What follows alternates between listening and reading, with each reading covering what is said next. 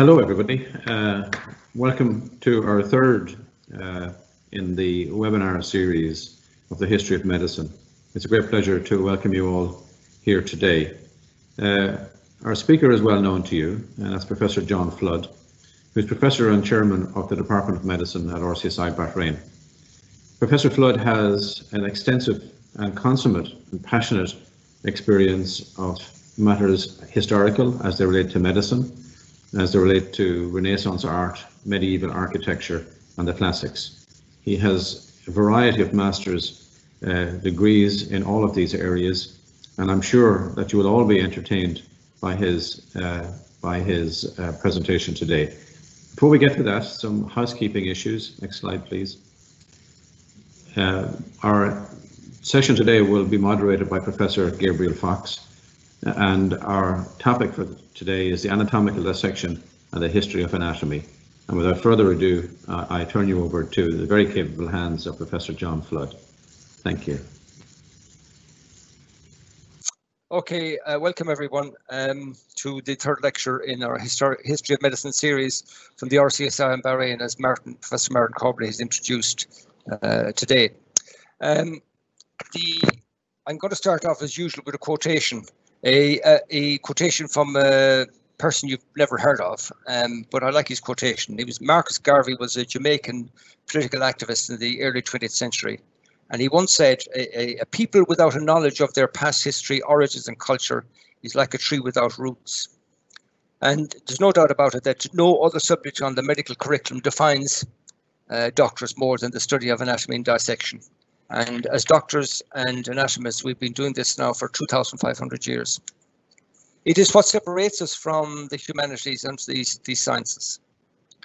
Um, the delivery of uh, the history of anatomy in one hour is a daunting task. It is just impossible. It would take the whole series of lectures to get through each block of development in history of uh, anatomy from the early Egyptian times, uh, the was Greek Ptolemy time, the Greek Ptolemaic times of Egyptian history, right down to uh, early 20th century. I have left out the 20th century because it would be into the, the realm of um, scientific advances and so on, and that would be an enormous topic on its own. So I'm going to start off with a very simple and entertaining slide, and then I will start the lecture. Okay.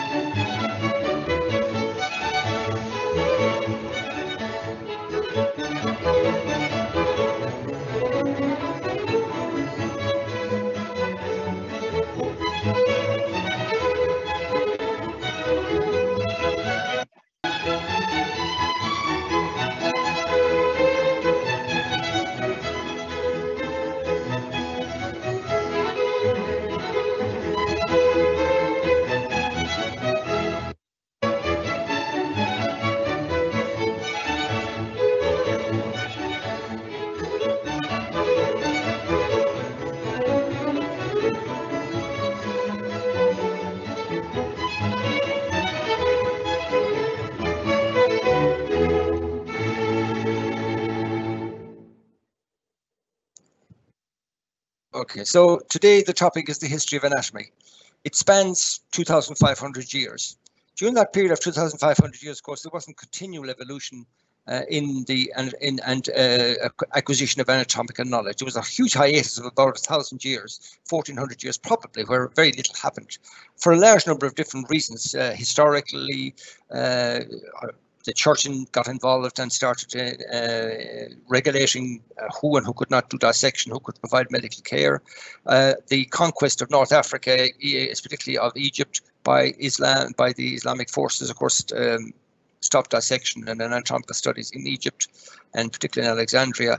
And there are lots of other reasons. It started off again uh, in the 13th and 14th century, and then gradually between uh, the 13th and 14th century and the uh, first part of the 20th century, we've a massive uh, development in anatomical knowledge. But be aware, it wasn't just a question of the acquisition of knowledge in anatomy. Anatomy um, the study of anatomy had far more social impact than you can imagine. It was a vital subject for uh, academic studies, for philosophical development, philosophical ideas. People saw it as a social status. Doctors in America uh, went from being small town uh, faith healers, if that's the word I would use, um, to uh, qualified uh, doctors who studied anatomy and, and had rudimentary skills in surgery and medicine. Uh, it was seen uh, as a way of social advancement the respectable people with education had texts of anatomy in their houses and got them printed. They attended dissections.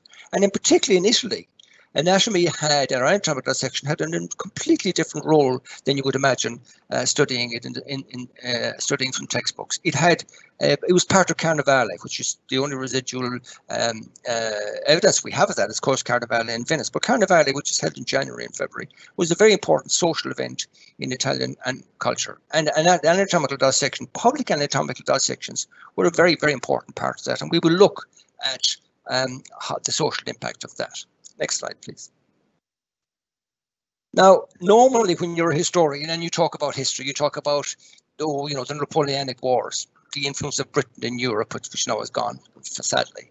The uh, impact Britain had on, you know, on on the on the conquering of the Nazi forces in Europe, and so on and so forth. And and these are the topics that people get grossly involved in as as historians. But I, uh, as a historian, have a different approach to, to the whole subject, and I like this uh, concept of microhistory. And microhistory uh, is the study of history not in in villages, in a, in a specific village, but in villages rather than in parliaments or big, big palaces where the uh, power uh, was power and influence in society in the Middle Ages in particular was, was located. So microhistory it's a, it takes a long, it's the, what we call the, the, the grand durées, the long history of events that occur in, in, in, in historical in history. It's about multiple society of nations interacting to influence each other. Uh, it, it talked, the historians talk about far-reaching outcomes, historical patterns and repeated historical processes. And then, of course, when the historians are, uh, you know, summarizing either their book or their lecture, they give uh, overarching confusion conclusions. A very um, uh, Ho, Ho, Chi Minh was asked after the, uh, you know, the whole mess that occurred in Far East with the, the onset of communism, which destroyed Chinese culture. He was asked, um, "What influence do you think China, uh, communism will have on Chinese civilization?" And this is, uh, you know, uh, a number, a good number of years after the Chinese, con- the communist conquest of China. And he said, it is far, far too, far, far too soon to say.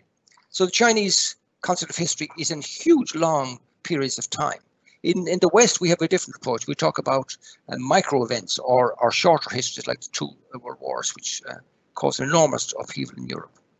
So what is microhistory? So uh, let me just get down to the next slide and I'll tell you what microhistory is and how it will how you look at hi historic, how you look at anatomical, uh, the study of anatomy using the microhistorical approach. So I first came across um, uh, this man called Carlo Ginzburg. Uh, he's an Italian, and um, I first came across him because I had to give a lecture on microhistory to the Early Modern History Society at the University of London 2017. And in my preparation for the talk, uh, which was like today, an hour and so on, to uh, an audience who were uh, equally as interested. Uh, I had to research this man. Now he is amazing character. He and I've actually heard him talking. He um, he, he is uh, he he was born in Turin in 1939, and he did his PhD in Pisa in in 61. And then he was subsequently taught, of course, obviously initially at the University of Bologna, uh, and then, of course, went to the States. The Americans, of course, having uh, far more money than most European universities, uh, tempted him over to America with a large salary. And um, he he uh, his initial work was on the persecution of witches in early modern Europe, and he came up when he was doing this. Uh, they're called the band, they they called the Benandanti, B A N A N D A N T I, and it was a, a vision. It was he also looked at folk traditions in 16th, 17th century Friuli in northeastern Italy, which is up towards uh, Trieste, where Joyce lived for a while. And while he was doing his research, uh, and he was one of the few historians who had access to the Vatican Library and Vatican archives, while he was doing it, he came across the report um, of uh, a poor old miller called uh, who lived between 1532 and 1599. Uh, and he, he, he, what he came across were two reports of his trials. He had two separate trials for heresy, and eventually he was executed. And he was executed because he caused so much social disruption in Friuli. Um, so he then came along and um, uh, published a number of papers on and a book. So Nevin, can you go to the next slide, please? next, slide, please. Now, okay. So he came along then, and he he published a book based on his studies, which he came to ten years after his initial work, and um, the book is called um, uh, "The Cheese and Worms," and uh, the, the, the description of the book comes from the uh, the uh, imagery that the um, uh, the poor old uh, Domenico Scandella, the the um, miller, the imagery he used to explain the cosmos uh, to uh, member of to the people in the village that he lived in. So the Italian name for it is Il Formaggio e il Verme, and um, he described the world as being cheese and all the angels and gods and the devils as being worms. And this was a description he used based on his readings. And the interesting thing about him was that he was literate. He uh, he attended one of the local schools, which had been founded in the uh, town of Friuli. Uh, we don't have any books available uh, that he actually uh, was taught that were used to teach him in school. But we do have a list of books that were found in his house when he was actually arrested for heresy in the village uh, and put on trial. And the books were very commonly found in Europe at that time and commonly passed around. But he had things like um, the Travels of Sir John Mandeville, which is a medieval text from England. He had Decameron's uh, by Boccaccio's uh, Decameron. He had even an Italian translation of the Koran. And he had some religious texts, uh, Illustradio della Madonna by Dominican Alberto de Castello. So this man was no fool.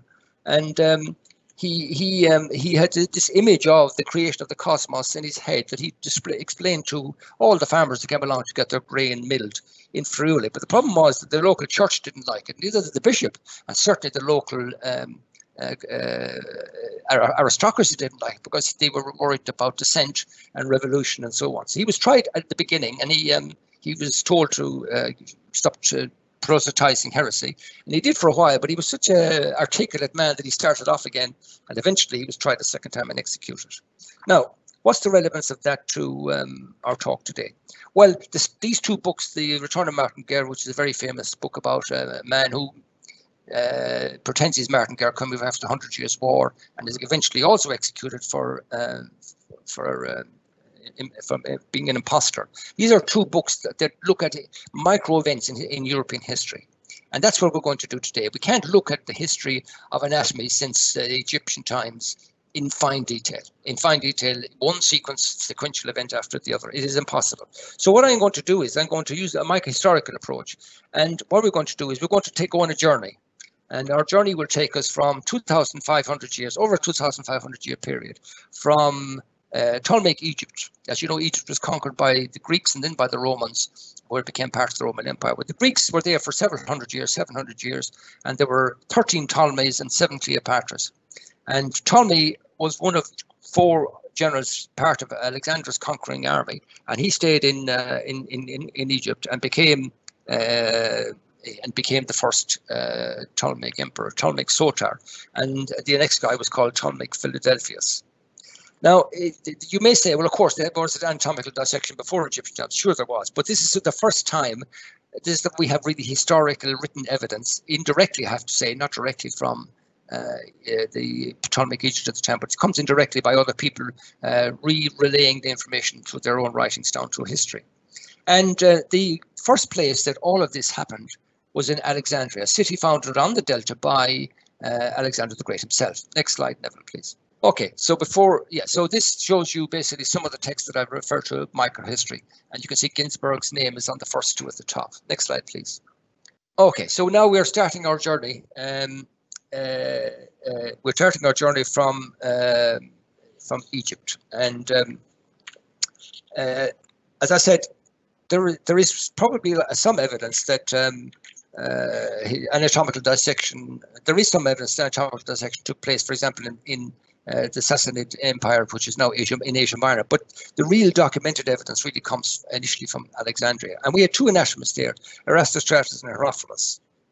And um, uh, where did the anatomical dissection or where did it all happen? Well, in Alexandria at that time, uh, Ptolemy, uh, Ptolemy Soter and Ptolemy Philadelphus, the two first Ptolemies, founded the library, the museum, the infamous Library of, of Alexandria, which of course was eventually destroyed, not as people have accused uh, the, the, the Islamic invasions of doing it, but it probably got destroyed uh, in different at different stages through its history by neglect, and there were several fires.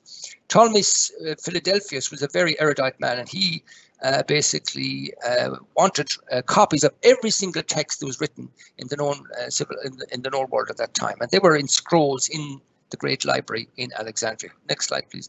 And this is uh, again a diagrammatic representation of what the scrolls may have looked like inside in the um, in the library and the museum. Now, this wasn't a university in the modern sense. It was a place where people went and uh, and learned to write philosophy, learned uh, to become doctors, and so on. There were, of course, doctors of great infamy uh, before this, like Hippocrates of Kos on the island of Kos uh, was is one, and so on. And even um, uh, Greek philosophers like um, uh, Greek philosophers like Aristotle, Plato, and Empedocles. We know, for example, that um, Aristotle dissected animals, but he didn't. Um, he didn't basically formally dissect any humans, and the first two people to do that were Herophilus of Alexandria and and um, and uh, his um, his assistant. Next slide, please. Okay, so so uh, I'm going to summarize here what um, uh, what Her Herophilus did or achieved um, in uh, the museum and the library at Alexandria. Um, now he was born in Asia Minor. Lots, lots. The Asia Minor was a very populated, which is present-day Turkey, a very populated part of the um, Greek world and of the Roman Empire eventually, and the Byzantine uh, a number of years later when Byzantium uh, became the Eastern Roman Empire. And he was born there in a place called Chalcedon, which is in present-day Turkey. And he was trained by a number of physicians there, like Crispus of Cnido and so on. When he moved to Alexandria in the third century BC, so we're right back uh, before Christ, 300 years before Christ. When he got there, he and uh, Erasistratus started doing human dissections. And, and they did this because um, Ptolemy uh, allowed criminals to be dissected uh, as part of their punishment. I don't think he had a philosophical reason for doing it, but he was a man of uh, great learning and he wanted to the human body to be uh, investigated by dissection. Um, and this uh, basically uh, is where anatomical dissection started. So how much did Herophilus and Erasistratus contribute to anatomic knowledge? A huge amount. They were the first ones to describe a large number of anatomical structures, and I'm going to just read out a number of them to you. So, for example, he um, Herophilus, we start off Herophilus, he was able to distinguish between vessels and nerves. Now, this is all before microscopes, and this is all just crude dissection using just daylight. So he was able to show that veins and arteries were different from nerves. He was able to show um, the difference between motor and sensory fibers. He defined and uh, named the first seven cranial nerves.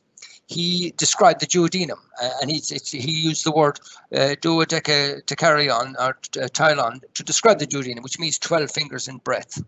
Uh, he described the male and female reproductive organs. And um, then Erasistratus, his assistant, uh, described the ventricles of the brain, differentiated the cerebellum from the cortex, uh, described the cerebral aqueduct and so on. So, uh, uh and on top of all that, Erasistratus, who lived longer than uh, Herophilus, he then went along and dissected the heart and, put, and described the, um, the basically uh, the the fact that the heart works the pump. He described the valves, and more importantly, to contradict all the Greek philosophers beforehand, uh, they showed that the pulse did not come from an innate pulsatility in the artery, that it came from the heart. And this was a major shift in thinking.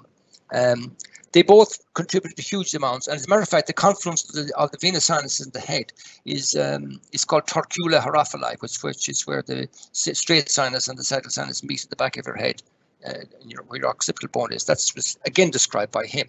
So that's where the whole that's where the whole story starts. It starts in, in Greek Ptolemaic uh, Greece. Greek uh, it starts basically in Egypt under the influence of the of the Greek culture Greek civilization.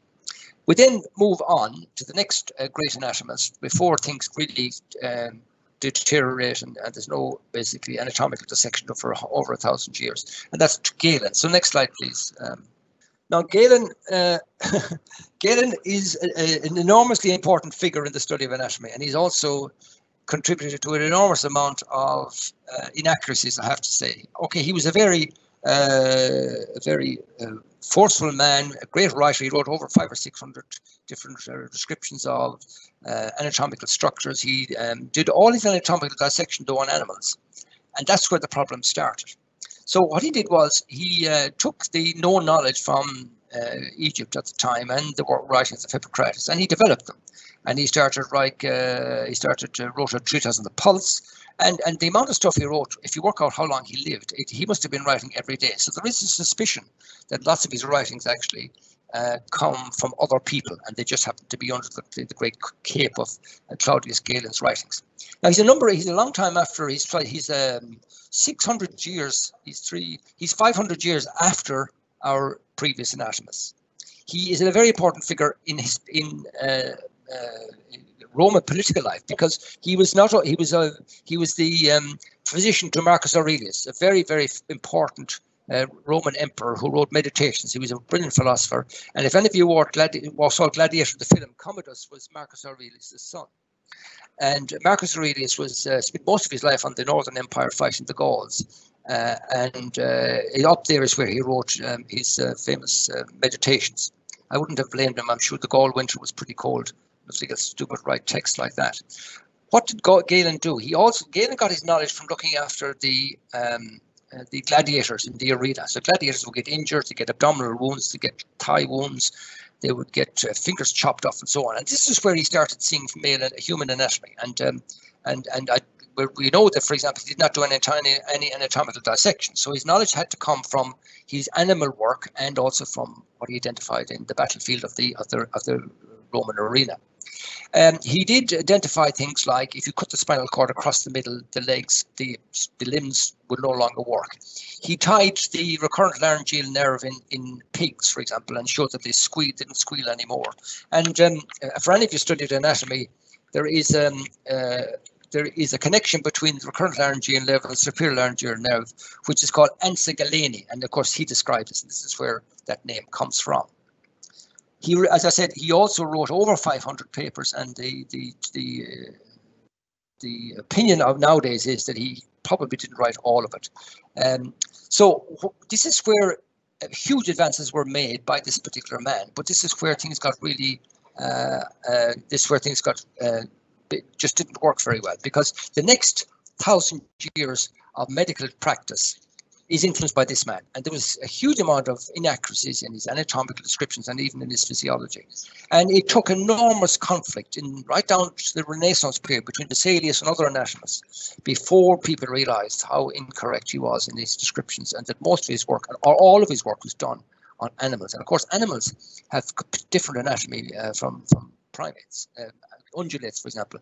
So one of the things he did was he dissected a cattle, and in ungulates, there's a anastomose at the base of the brain called the rete mirabilis, which he describes as being present in everybody.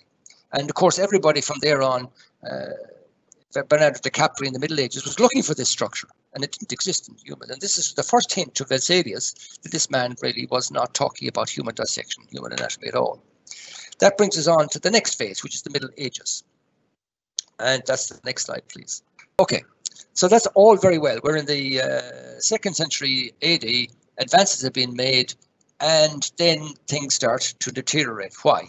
Because the church got involved. So over the next three or four hundred years, five hundred years, uh, as we come into the early Middle Ages, seventh, eighth, ninth century, and the late Middle Ages, things deteriorate. There's been no anatomical dissection done really until you get to the 13th and 14th century. And all the knowledge uh, that, that, that was there and used by anatomists and, and uh, professors and in, in academic, by, by, anatomists and by doctors practicing and, and, so on, was based on Galen's work, which was uh, not, as you know, not uh, correct.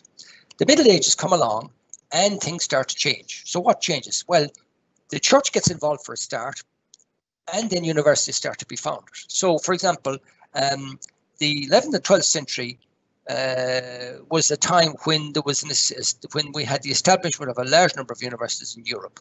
Bologna was founded in 1088, Paris in 1150, Oxford in 1167, and Padua in 1222. So we have institutions in which uh, you know philosophy, rhetoric uh, is taught, and also medicine is taught as well. But the medicine practiced in the Middle Ages and even further down to the 17th, 18th century is not medicine based on university studies. The physicians who studied medicine in Oxford and Cambridge and all these academic institutions were philosophers. They didn't have the barber surgeon approach to practical anatom- uh, practical um, the practical problems people had every day of injuries, infections, um, uh, trauma, spinal injuries, and so on and so forth. They had no practical knowledge. They would just go and philosophize uh, to these people's houses. So you're in there with your broken leg, and some daft Oxford graduate who's a doctor comes in and starts reading philosophy to you. I think you would certainly throw him out fairly quickly out of your house. And this is where they, this, the in the villages where the, the bone setters and the faith healers uh, started to uh, to to uh, get prominence and get and and subserve the function of practical medicine in everyday life, and not philosophy. That was the practical practical aspect of it. What happened uh, with the church was the church then stopped the monks from being involved in hospitals. So as I told you last week, uh, uh St. Bartholomew's and St. Thomas's hospitals are, August, are Augustinian institutions until Pope Alexander III in 1105 to 1181 came along and said that the church were no longer to get involved in the provision of medical care and certainly not dissection. So that was the end of that. They got they stopped looking after patients in their big big monasteries like uh, St Thomas and St Bart's. And on top of all that, uh, another pope, uh, Boniface VII, came along, and he slightly modified things by saying, okay? You can dissect for for for autopsy reasons to see why somebody died. But he was uh, very much against the practice of the Crusaders who would fight, go over to fight in the Levant, and then some of them would die, and they would basically be uh, organs would be removed, the bones would be boiled down, and the whole thing would be shipped back to Europe. And uh, particularly if they were kings, the heart went to one place, the bones went to somewhere else. And this uh, practice he wanted to stop. He didn't actually stop dissection as such, and he wrote an encyclical or papal bull called the Sepulchris to stop this.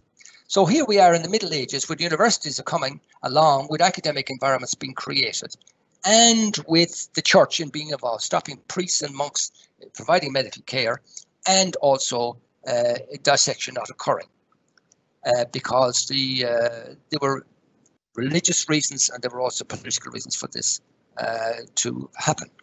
But it got better with the development of the universities, we have what we call the pre-Vesalian part of anatomic, the advances in anatomical studies, where we are looking at what happened to anatomical studies and dissection before Vesalius uh, came along and revolutionized the whole thing. And that brings us, above all places, to Italy. Uh, in Italy, we have all these wonderful universities. We've got Pavia, Bologna, Pisa, and so on. Uh, hundreds and hundreds of students around, wonderful discursive academic environments. And it was in this environment that anatomical dissection took place again. And the man credited with that is um, is uh, Mondino de Luzzi from Bologna. And uh, in the text, it says one of the great milestones for anatomists must have been the public pedagogic dissection by Mondino de Luzzi in 1315. He was an Italian physician, and anatomist, and professor of surgery at Bologna, and he's often called the restorer of anatomy. So we're back on track again to anatomical dissection and the scientific study of the body but it wasn't. It it wasn't. Uh, still wasn't right. The professor of medicine and professor of surgery in those days did not do dissection. He was a philosopher. He got up on a nice big podium. I'll show you love some examples for, uh, of the podiums from Bologna uh, anatomical uh, dissection uh, room, which is still in existence and is a wonderful place to visit. The one in Pavia is even better. And he would just there, he would philosophize about oh the center of the consciousness, where the what the function of the heart was, but he would never touch the body.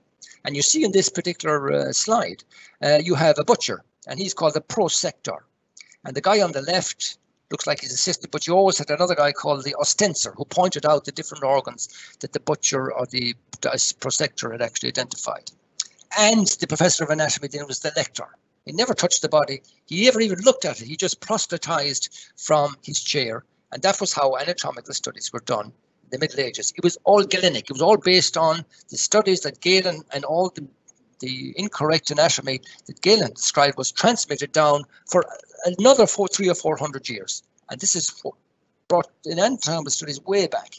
Now, I could keep going on about what went on in the Middle Ages. There are a large number of anatomists involved, but I think that gives you a flavour of what uh, was going on in the Middle Ages. Things changed. Let's next slide. Um, what changed?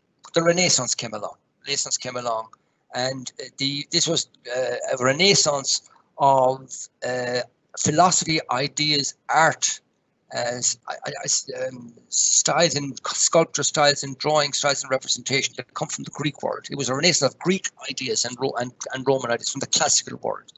So we have there's a word described called the Dark Age. It's not quite right. There was academic activity down between the fall of the Roman Empire and the early, early and the 14th century, but it wasn't as vigorous as you had in there initially. Usually, it was the great centre of intellectual life, of development of in, in art, literature, sculpture, and so on.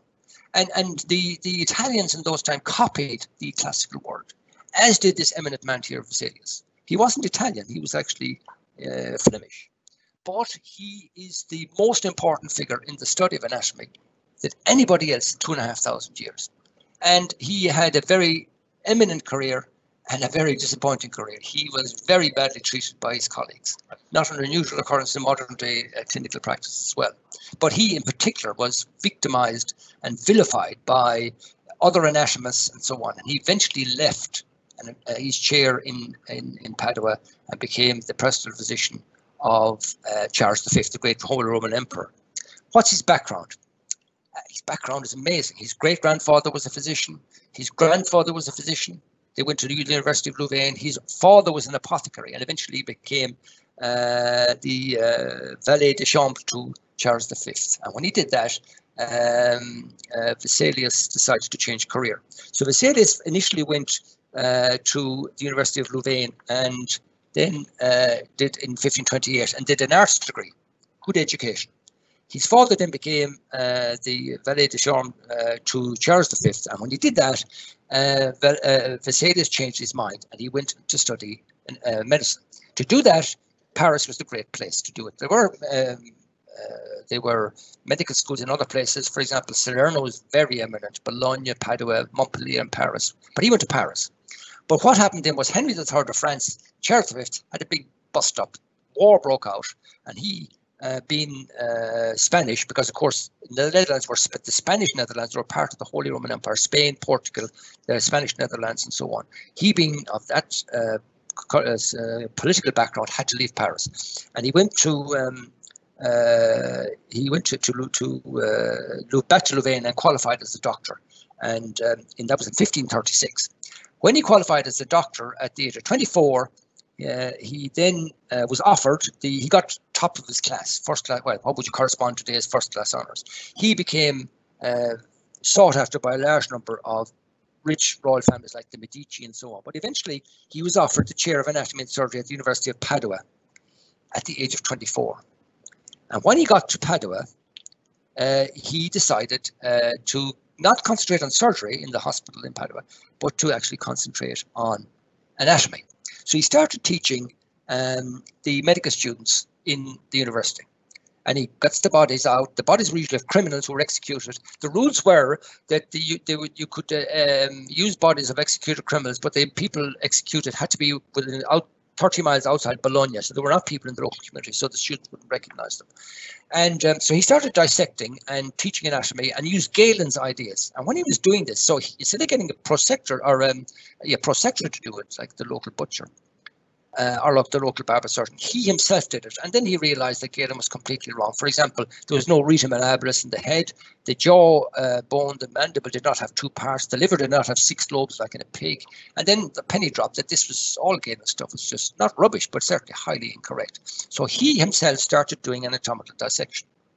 Now, he then wrote a book called the Fasciculata, which we'll look at in a minute. But how did the Fasciculata come about? Well, he started teaching students how to do phlebotomy, to bloodlet, because the treatment in those days for illness was to let, let the blood, uh, to um, to cup somebody and then to, to phlebotomy and bloodletting. The students had to be taught where to take the blood from. And Galen says you've got to take it from where the area of damage is, where the area of infection is. But he said, no, you don't. I'll show you where you could do it. And he started to draw them. And then eventually the students started to take these drawings and copy them and bring them home with them as part of their study. Then he, then he, then they started asking him for more, and he came up then with six drawings, and he, in 1538, and he called it the Tabula Anatomica uh, Six, six being six, and they were through, they were they consist of, of arteries, veins, bones, muscles, and so on and so forth.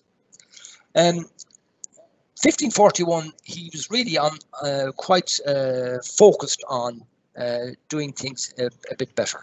So he then started to put together uh, a book.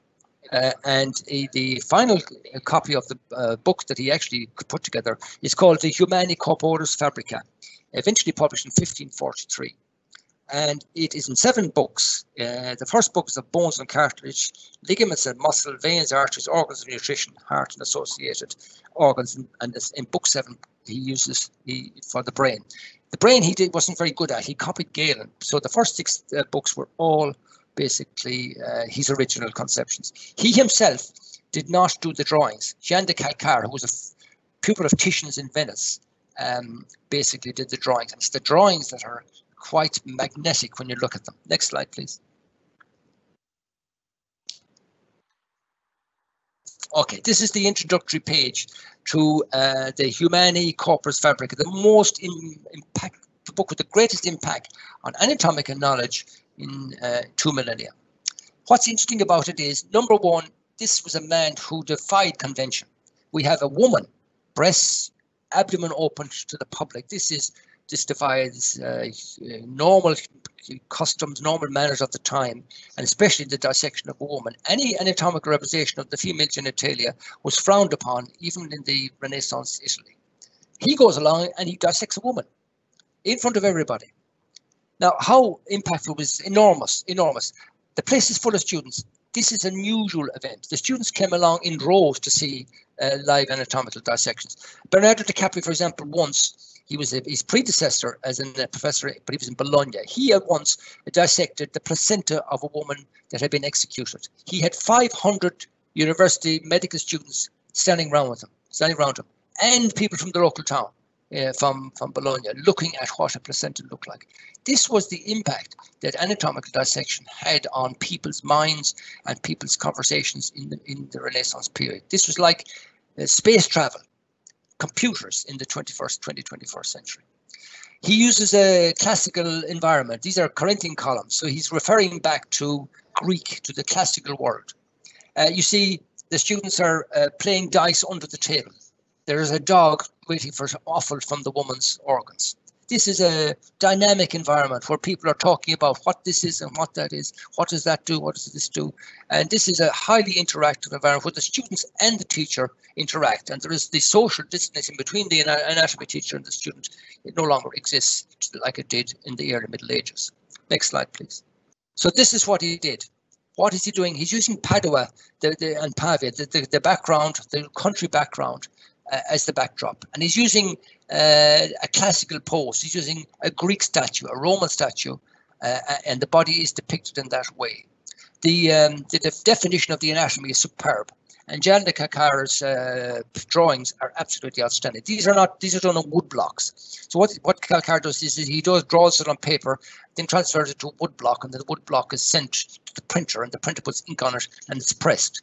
Now, um, Vesalius was a very shrewd guy, and he reckoned that if he did the printing in Bologna or Pavia, somebody people would just uh, steal his printing. So he sent it over uh, to, to Oporinus. Oporinus was a friend of his in Bâle in Switzerland.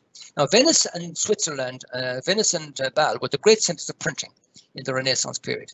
So a whole topic I could discuss uh, at some stage next year would be the on the history of printing. And the big place centers of printing in the Renaissance period was Venice. Venice was absolutely miles ahead of any other city in, in Europe at that time when it came to printing. Why? Because um, uh, you had a big influx of Greek intellectuals uh, from the fall of um, Byzantium, uh, of Constantinople in 1453. They all emigrated to Venice and into, into Pavia, Padua, Bologna. And Greek studies took off. There were professors of Greek appointed. Printing took off. The Greek printing press, which still exists today, is still present in Venice.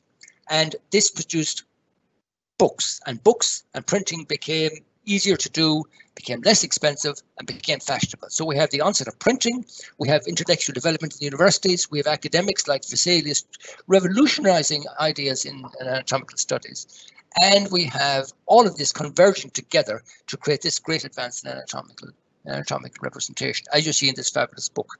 It is uh, seven or six or seven hundred pages long. It's an enormous, uh, an enormous uh, book it um, published in 1543, and there are still some first editions in uh, in existence, mostly in Oxford and Cambridge, believe not some in America, and some, of course, in Italian university libraries. Next slide, please. And this is another one uh, showing, uh, you know, the vastus lateralis, adductor, uh, adductor longus, the rectus abdominis, and of course the flexor and extensor muscles of the arm. Now this is a flayed, this is a flayed body he has done. He's taken all the skin away, uh, he's taken all the fat away, and he's micro dissected everything down. And then he, John de Calcar's come along and he's drawn it, uh, and then it's put onto wood block and then transferred to print. And uh, next one, please. Uh, next then he actually goes right down to the bones. And as I said, in um, the bones and cartilage are part of book one. And as you can see, it's written in Latin, of course, it's written in Latin. Humanus corpus osseum is written across the top. And of course, uh, this is uh, a philosophical note in this of man contemplating his own existence with the, looking at the skull. So again, this is not pure anatomy alone. There's a certain amount of philosophy involved and uh, in all of these writings. He um, he continued his as, as, professor of anatomy uh, until uh, uh, well, he's he, he, he continues professor of anatomy for a number of years, uh, uh, uh, for, for a further couple of years. But what happened then was he was visiting professor at Bologna, and he was invited by the students to go to Bologna um, to give a talk and do a dissection. And the professor of anatomy in Bologna at the time was a guy called Carpi. Carpi. And they did it intentionally because they knew that Carpi was a Galenist and they knew Vesalius was the opposite. And they got so all the students got in and they would ask questions and they'd ask questions of and they'd ask Vesalius the same question. The questions, of course, would have a different answer. And riots would break out. And the students would riot would basically edge on the two academic professors to, to and Vesalius would get really annoyed. He'd put his scalpel down and just shout at Carpi and so. These were dynamic environments. It got so heated at one stage that a number of anatomists from Bologna University all walked out when uh, Vesalius said that uh, Galen was, was basically incorrect and made lots of mistakes. He eventually um, uh, left uh, and became the private physician to uh, Charles V.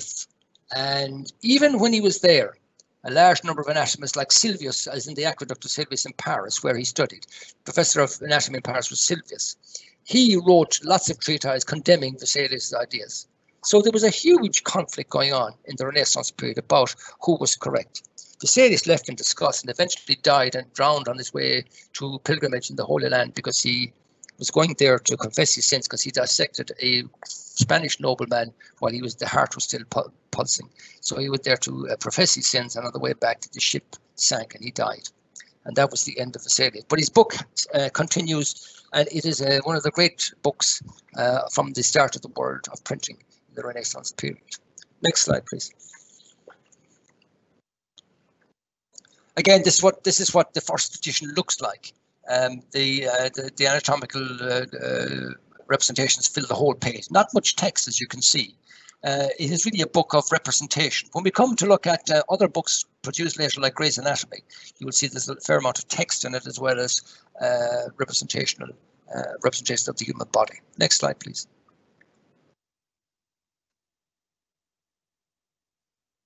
Okay, I'm not going to spend too long on this. We've, I've only got 10 minutes left, but I showed you these last week.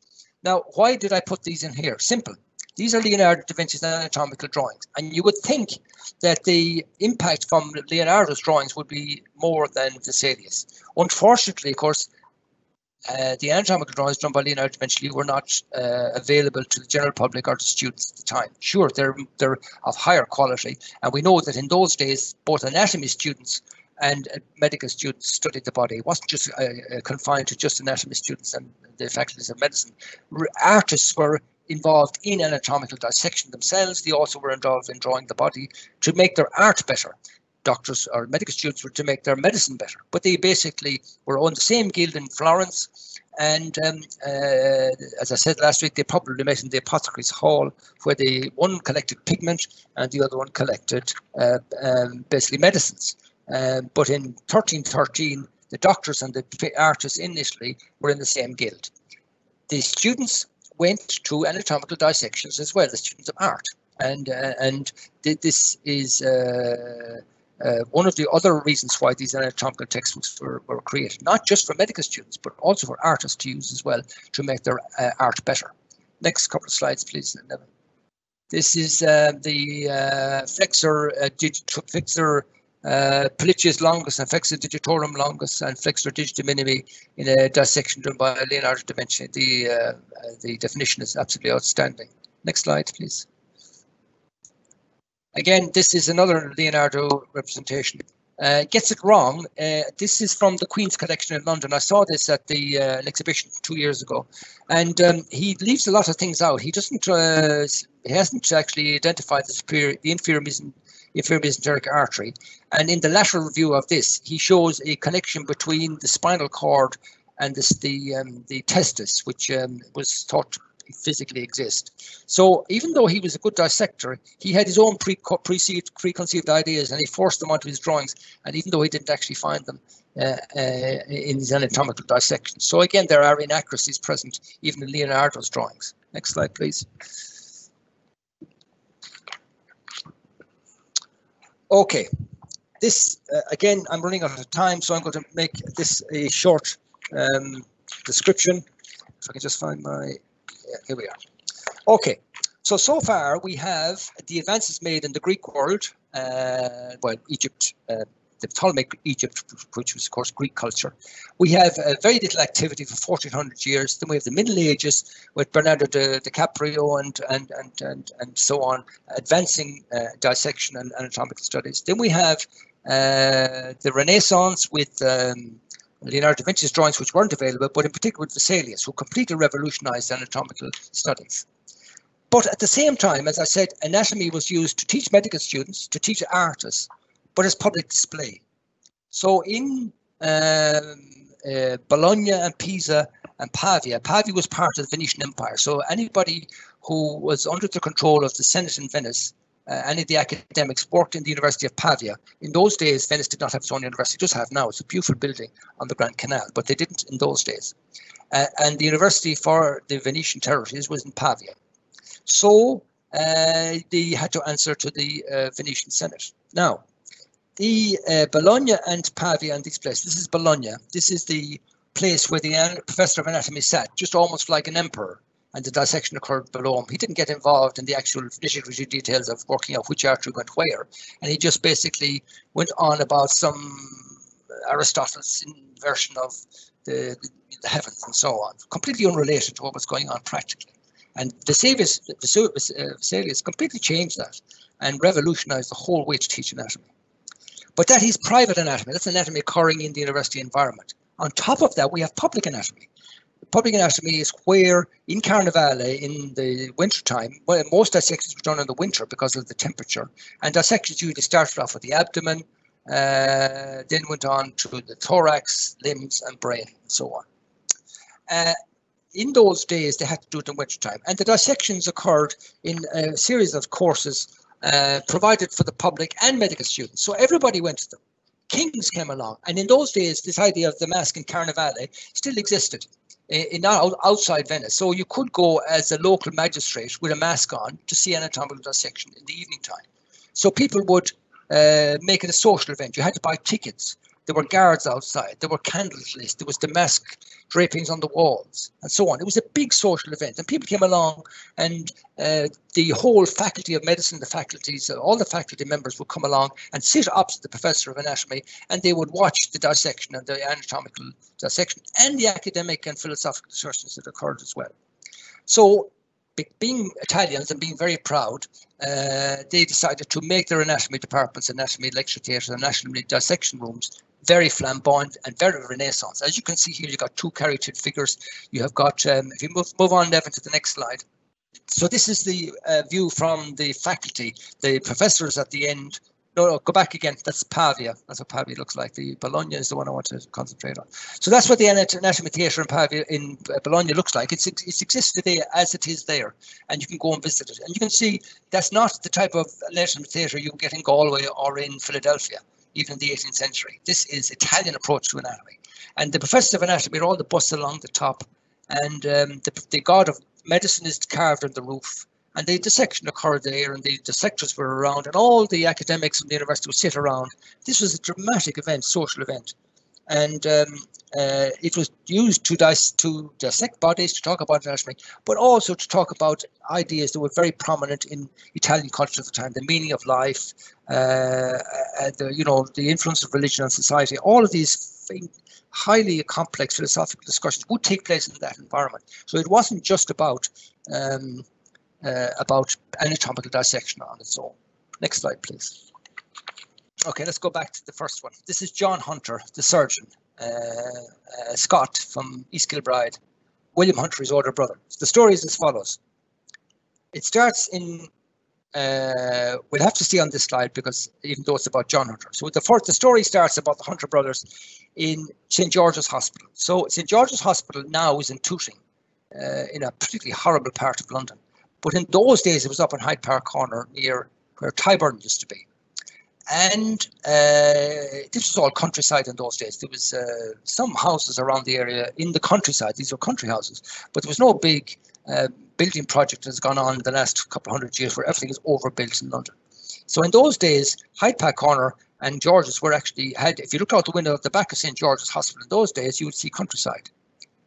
This particular man and also his brother were both Scottish physicians working in London, John and William Hunter and more, no more than uh, Vesalius, they contributed enormously to anatomical studies. And Vesalius was the engine for change, and these guys were the sportsman. They really came on and revolutionized how you actually do dissection, how you actually preserve the specimens, how you teach it. So in those days, there were medical schools around, but there were a large number of students, and the students didn't have enough anatomical uh, access to anatomical um, uh, specimens. So there were something like 20 private schools in London, of which the most famous in, Win- in Windmill Street were the Hunter ones. So William Hunter came down from London, from Glasgow, from East, from Ayrshire, and he was 10 years older than his brother, and he became an accoucheur with an accoucheur and an apothecary. So an accoucheur is a midwife, and then he worked with uh, uh, a very famous um, uh, the time called Smellie, who developed the Smellie's uh, forceps for delivery. And that was in 17, 1740. John comes down uh, 10 years later. Uh, John comes down 1748, uh, uh, eight years later, but it's the 10 years between the two of them. Now, in those days, medicine, the, the, this is George in England. This is the time of George III and Queen Charlotte. They had no advanced or proven ways of treating patients. The only thing they had was, for example, they had uh, cinchona bark from Peru, from brought over by the Jesuits.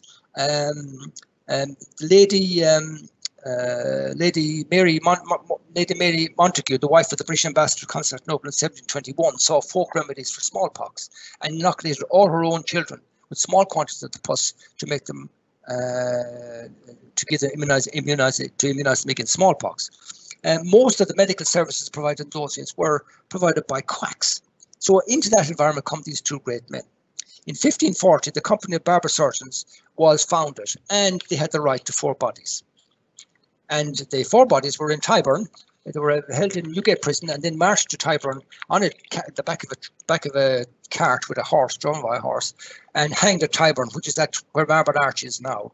And the journey was three miles. And along the way, they would stop at inns and get the poor criminal uh, inebriated, and they would subsequently be hung. And then all head would break loose. So the, the beggars and the hunter, John Hunter in particular, would be there to try and grab the body, as, as would the medical students, because there were just so few medical students, uh, so few bodies around to dissect. So William Hunter got this idea, being a Kenny old Scot, he opened his own private medical school, two terms, five to seven to thirty, five to seven thirty in the evening, and then he gets John to come down, and John is poorly educated. He, um, his father had died, most of his siblings had died. He had no skills. He was going to join the army. He left school early. He was semi-literate. He came down, and William got him to start doing dissections. And over the next 10 years, eight, 10 years, he dissects everything that moves. Animals, elephants, he gets his hands on absolutely everything. And he does comparative anatomy to par excellence. He then gets educated as a surgeon and does his surgical exams William, interestingly enough, did his exams too and did his MBBCH, but he actually, being a snob and a very, very rich man in the end, uh, becomes a physician and joins the College of Physicians and re- reneges his uh, membership of the uh, Barber Surgeons. John is different. Go on to the next slide, uh, uh, please. John is different. So why, what's Williams? What was Williams' um, contribution to medical medical knowledge? He was an obstetrician. He was the obstetrician to Queen Charlotte. He was obsessed by getting representations of the fetus, which was impossible to get in those days. So luckily in, in um, 1785, 17, uh, 1780, 1781, 2, 3, 4, those four years in sequence, a number of women who were executed at different stages of pregnancy were brought in by John. John was a great scavenger. He used to frequent the pubs and the taverns with his medical students. He swore like a sailor. He was very uncouth, didn't put a wig on like his brother, but he was a canny old Scot and he would go around stealing bodies from all the churches around Covent Garden where their anatomy school was. And he would get bodies back. Eventually, William managed to get enough bodies of pregnant women to dissect the uterus out and uh, and to show the baby. And this again is um, a, a, drawing done not by William and John uh, Hunter, but by a man called Van Ryswyck. Now, no more than Carter with Gray's Anatomy, and no more than Calcar with Vesalius, it's the anatomical drawings that are really the attraction. And, and, and the artists who do all of these don't get any, as a matter of fact, in Gray's Anatomy, Carter is never mentioned in his contribution to Gray's Anatomy. But this man is, Van Ryswyck does all these beautiful anatomical drawings. Next slide, please, uh, Nevin. Next slide. And these are the fetuses that John Hunter put together uh, of the different uh, stages of pregnancy that were from women who were executed for uh, crimes. The crimes, lots of them were very, not necessarily very serious, but these are up in the Hunter's Museum in, in, in, in Glasgow. Next slide, please. Next. So, yeah, we'll have to skip that. This shows you how crude things were in uh, in in Georgia and England. They were very good. No anesthetic talking about. We give them laudanum and some whiskey and so on, and they were very crude. What was John's big um, uh, in, uh, impact in George's? Okay, he did anatomy, became a surgeon, joined George's, was hated by his colleagues, was hated by Pott, who was over at Bart's. But this is a lovely story about him. He sees a in 1785 he was so hated in Georgia that his colleagues wouldn't even talk to him. He was a very eminent man. But people came from America and Europe to study with him. In 1785, John Hunter was looking at a Hackney coach driver with a painful swelling behind his right knee, which had been there for three years. He diagnosed a popliteal artery aneurysm, a common problem in coach drivers because they had high boots and they were at flexed knees for a lot of their time while working. Hunter uh, was hated and he had conversations with Pott and, and a lot of the other uh, surgeons who studied anatomy as well and are actually practicing surgeons in other hospitals. And the consensus at the time was that if you had a popliteal artery aneurysm, the cure was above knee amputation. Um, uh, and Pot, uh, uh, and Percival Pott, who describes pot fractures of the ankle, of course, uh, suggested that that is the only way to do it. But poor old Hunter was a very adventurous man, and he decided, I have tried it before and I'm going to ligate it. So he had ligated before the patient died. So he had another shot at it. And on Christmas Eve, on the 12th of December 1785, the patient went to the theatre, was held down by some of um, uh, John Hunter's assistants. And he put a six inch incision behind the knee, the patient held down and isolated the aneurysm. But he was very, very intelligent man. He didn't put a, lig- a ligature above and below so that the popliteal artery would have high pressure and it would burst. He put four ligatures of different tightness above and below the aneurysm. Uh, the one the furthest away was not so tight. The one further down was tighter, and vice versa down the below the uh, the uh, the popliteal artery aneurysm. The next day, the man was out of pain. He went home in January 1786, cured of his popliteal artery aneurysm, and died in 1787. Now, what do you think John Hunter did? He shot across London, dissected the man, and got his leg, which is in the Hunter Museum, to see whether an anastomotic channel had opened up around the knee. Because he said we can ligate the uh, popliteal artery because you get genicular anastomosis growing and the leg will not be lost. And he actually went to the trouble of getting the man's knee to prove that the genicular anastomosis preserved the man's foot and his leg. Okay, I think I have to stop there. I want to move on just to show you the end. Uh, move on, Nevin, and just I apologise to all of you. The, I said to you it's a huge topic. There's lots more, but I think that's the Hunterian Museum in Glasgow. This is Harvey, uh, this is Gray's Anatomy, uh, which I would love to have told you about. Gray and Carter, this is Gray's Anatomy, and so on. This is next one. Keep going, Nevin. Next one, Nevin, please. Uh, dissection America, a, a, whole lecture on its own. Keep going. Whole lecture on its own. Uh, I think we'll just look at the pictures. Uh, next one again. This is in Uh, first dissection done by women, in, and this is dissection table. Uh, next one again. This is uh, the European Journal of Anatomy, which I've read recently. £600 subscription a year, but it's wonderful. I'd love to buy uh, get a subscription. It's two day though. This is where anatomy has evolved to in the 21st century. Next one. Uh, a whole story behind that skull. This is John Knox and, of course, grave robbing and uh, the body snatchers. The resurrection men, as Dickens describes them in Oliver Twist, Burke and Hare. Next one.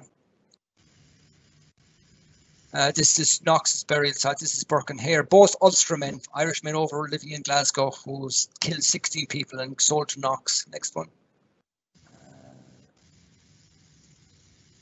This is the and uh, the execution of um, uh, Burke was there, and that's his skeleton in, I think it's in Glasgow. Uh, may well be in one of the hospitals, probably in the university. Next one.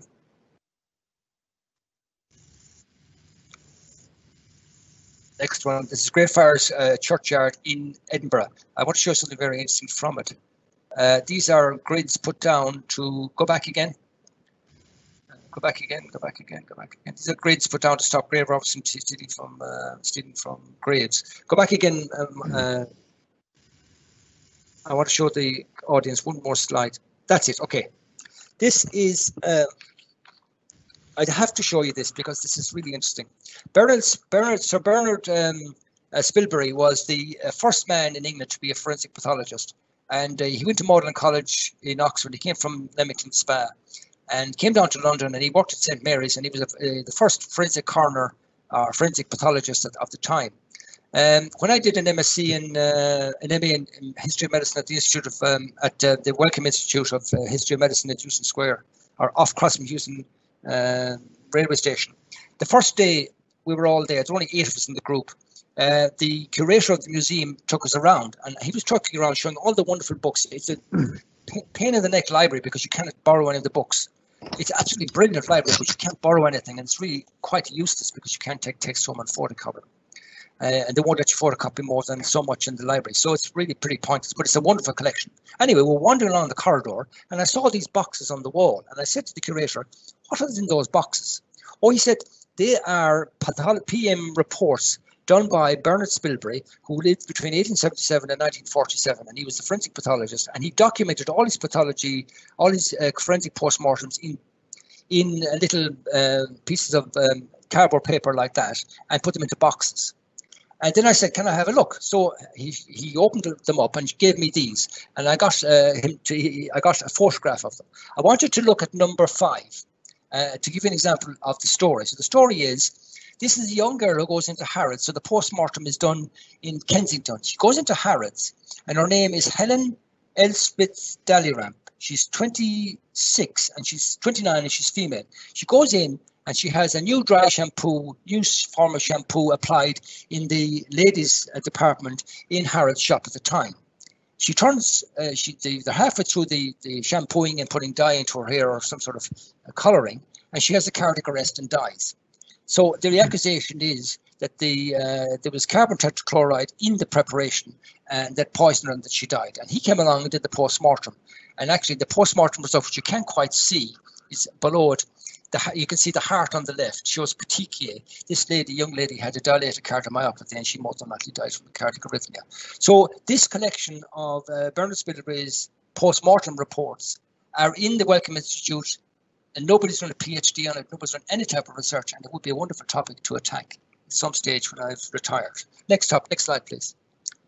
So I think that's the most of the, this is, okay, one last point I'd like to make this I did a course on uh, anatomy applied to artists a number of years ago at the Prince's Trust.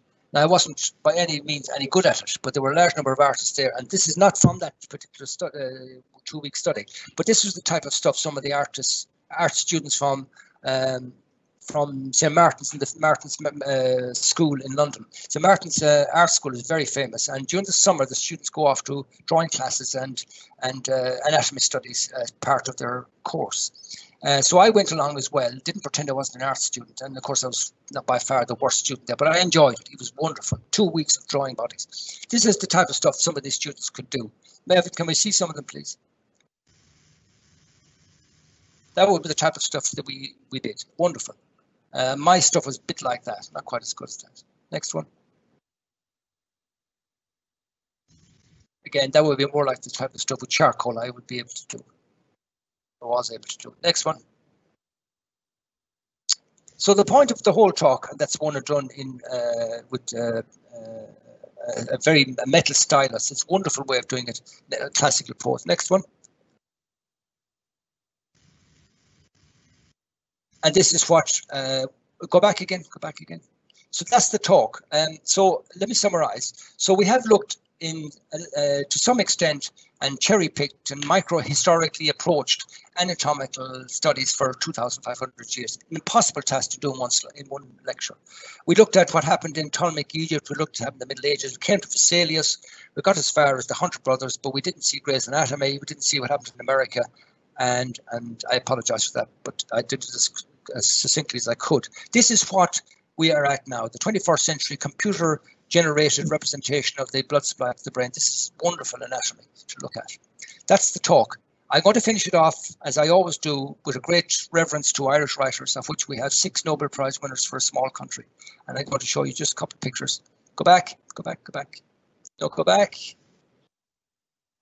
So the first one is James Joyce. James Joyce, why did it go back, Nevin, to James Joyce, please? James Joyce, believe it or not, was a medical student uh, I tried to look up his history. There is some. Go back to James Joyce, Nevin, please, the man. James Joyce was certainly a medical student. The previous one to that again. James Joyce was a medical student, certainly in Paris, uh, and um, this he left after a couple of weeks. Thank God he didn't get an education to become a doctor. He would never have been a great writer. He would have destroyed any uh, creativity the man possessed. This is when he lived in Trieste, and this is the family. That's Giorgio uh, Lucia, who schizophrenic, and um, uh, his wife, uh, Nora Barnacle, who's from Galway. The interesting thing about uh, Joyce, his daughter, she was psychoanalyzed by Freud, by by, not by Freud, by Jung, Carl Jung, very famous psychoanalyst, who also read Ulysses, and he said not only was Lucia schizophrenic, but so was Joyce. Joyce was also mad as well, according to Jung. Next slide, please. Uh, and at Christmas time, when I was at home, I went to see Nora Barnacle's house, which is across from St. Nicholas's Cathedral. So if Kevin is here, that's that's uh, open to the visitors, Kevin, in um, Galway. I brought my mum along. That's upstairs in Nora Barnacle's house in Galway. Next slide, please. This is our wonderful uh, Edna O'Brien, great Irish writer. Fantastic looking woman in her day. She's written two books recently called Nora, George, George called uh, James and Nora about their marriage and one on Joyce. She's a wonderful writer. I have my mother reading Country Girls at the moment by her. Um, she lives in London, of course, now in her 80s, but is still very articulate. I saw her interviewed in RTE recently about her last book. Very articulate, intelligent woman. Next one. And this is uh, my um, favorite poet, other than uh, well, not, well, my favorite poet, other than than Yeats.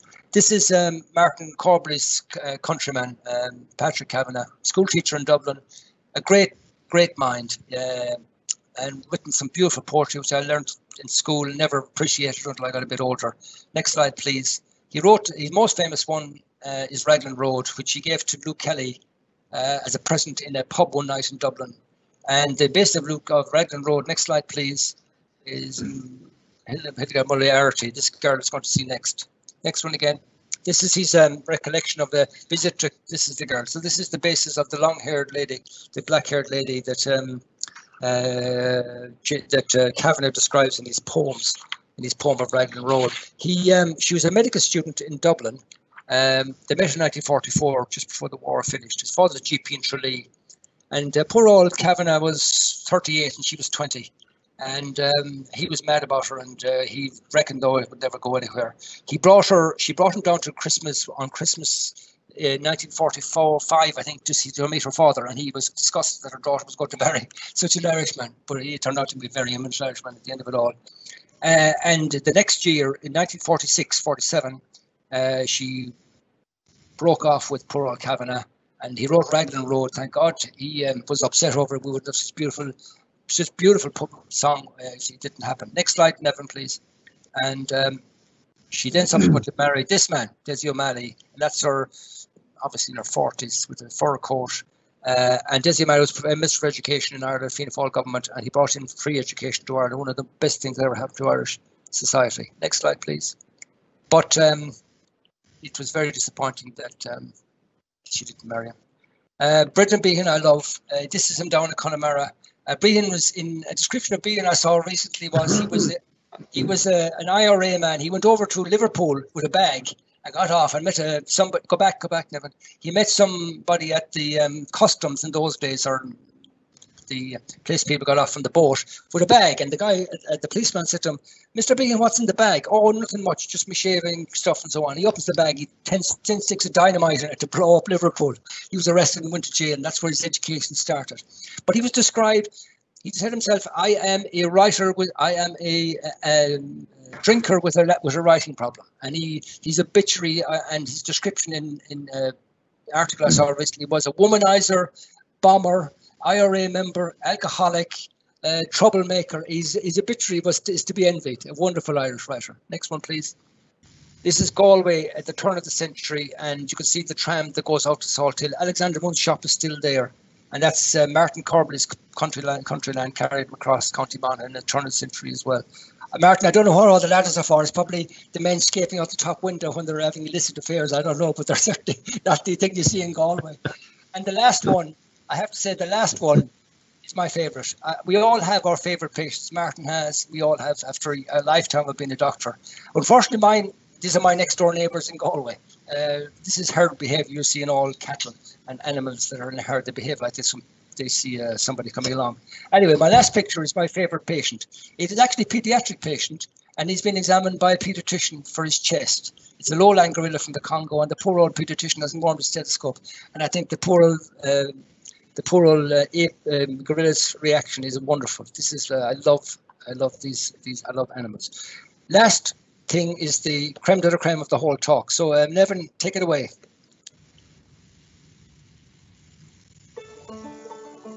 This is Luke Kelly. On Raglan Road of an autumn day, I saw her first and knew that her dark hair would weave a snare that I might one day rule.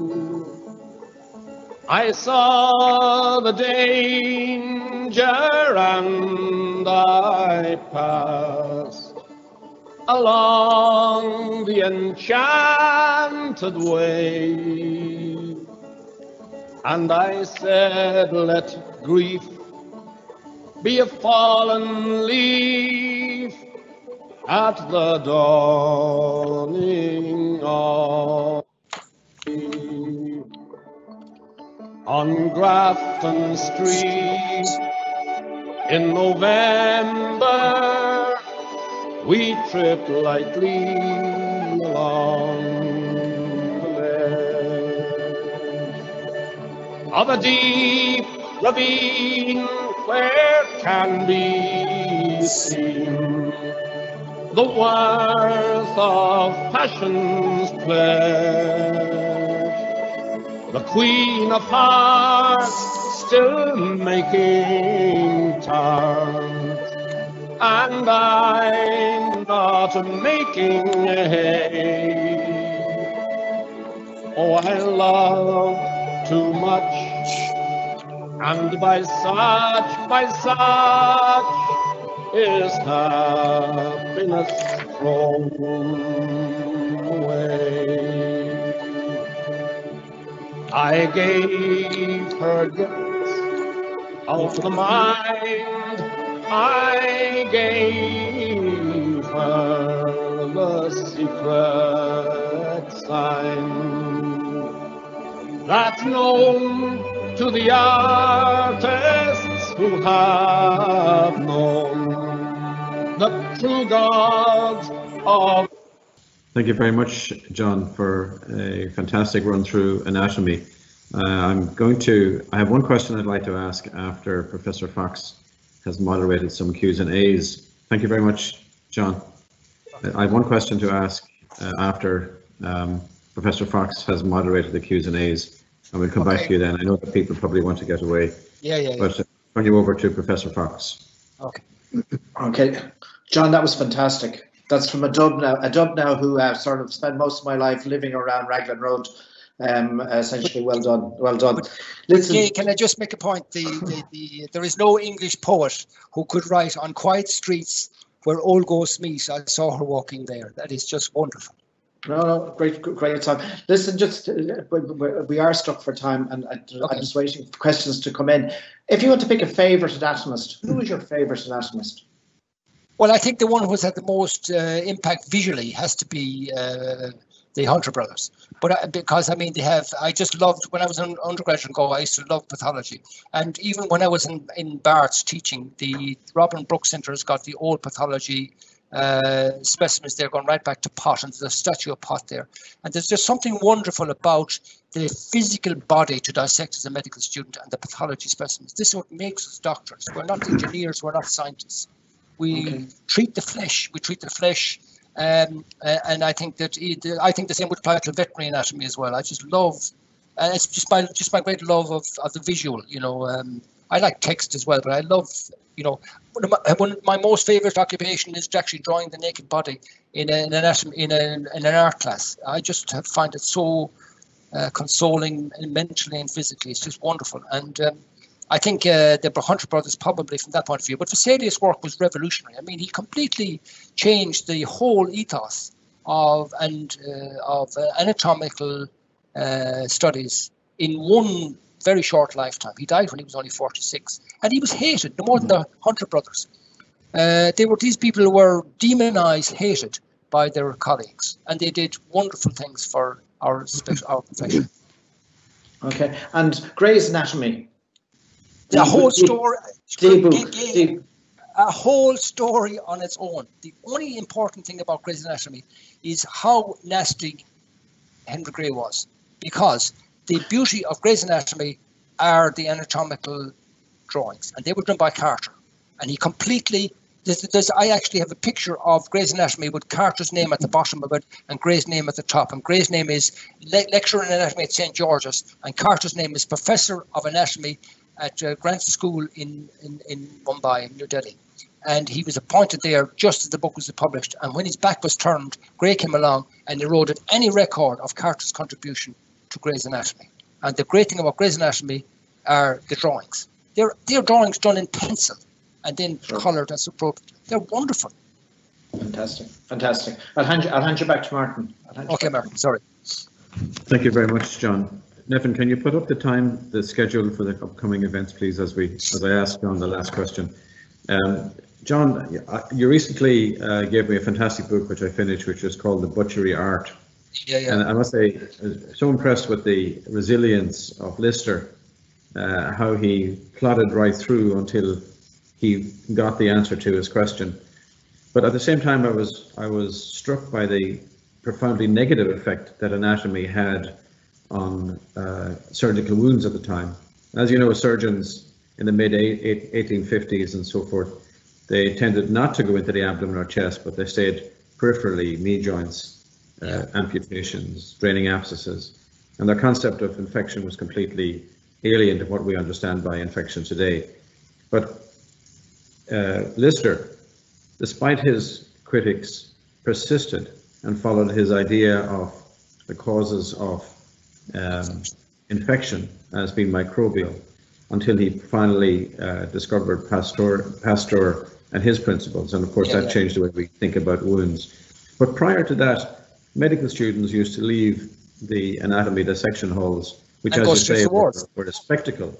And people from outside could walk in. It was like going to the movies. Yes, exactly. You walked in and you had a spectacle of anatomy, and of course they brought incredible infections to the wards. So, uh, what, do you, what do you think about that era of of anatomical dissection? Well, I, I, I, I think that uh, what's common between all of these, I won't answer the question directly first, I'll just make this comment. What's what's common between all of these people, like Vesalius, the Hunter brothers, and Lister, what's common between all of these is a belief in themselves against all the opposition and and and uh, vilification by their colleagues. And I think it still happens to this day. The medical environment in the NHS in England has to be the most uh, appalling experience of my whole existence. And it, when I went to Galway, completely changed, and it's even wonderful here.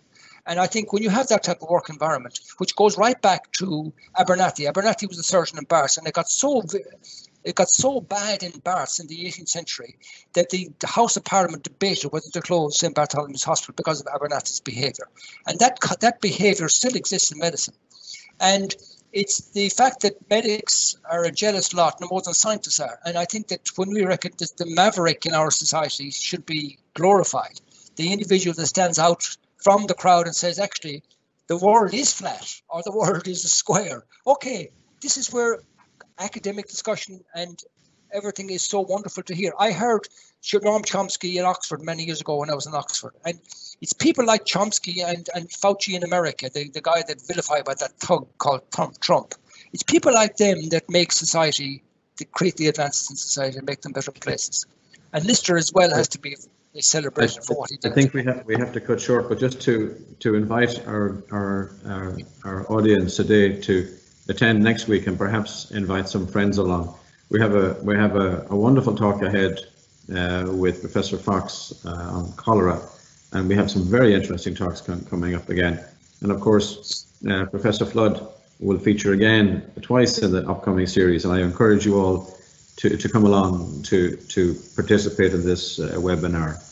Uh, Professor Flood, it's a great pleasure. Uh, thank you on behalf of everyone in attendance uh, for your passionate uh, analysis of anatomy and its importance in, in medicine and, and in fact uh, to mankind.